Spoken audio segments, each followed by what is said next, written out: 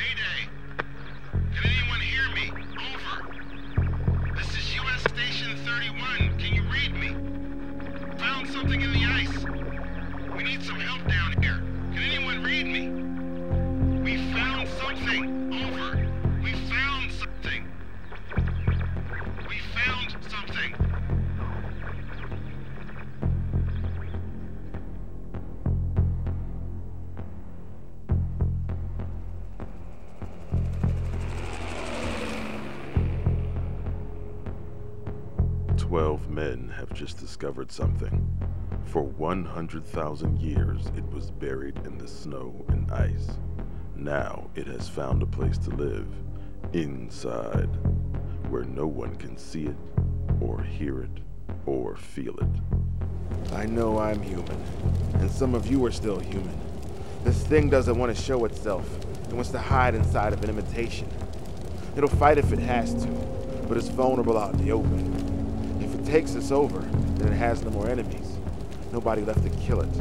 And then it's won. You guys gonna listen to Gary? It could be one of those things.